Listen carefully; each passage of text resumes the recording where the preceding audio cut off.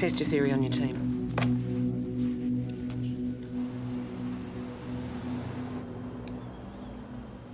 I feel like I'm losing a friend. Put himself in a tough position. Going back as a sergeant to his old squad was never going to be easy. Matt is one of the most principled people I've ever known.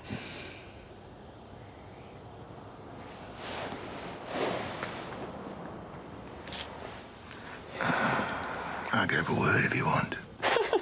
I don't need you to fight my battles, thank you. I didn't mean it like that. Expecting someone?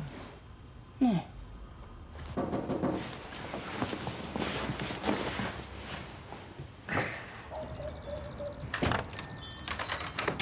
Matt. Hey, I felt bad about how we left things this afternoon. Oh, it's late. I'm in bed. Yeah, no, sorry. No, no, I'm sorry. We'll talk in the morning, okay? Okay.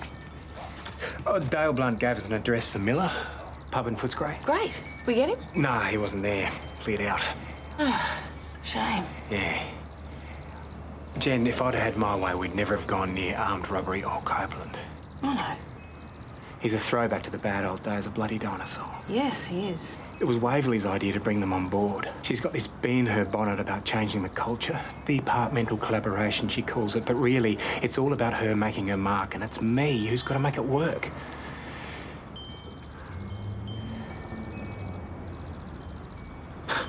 Okay. I'll let you get back to bed.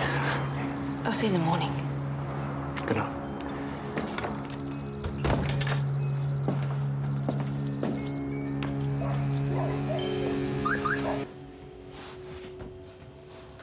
So, it was all Waverley's fault.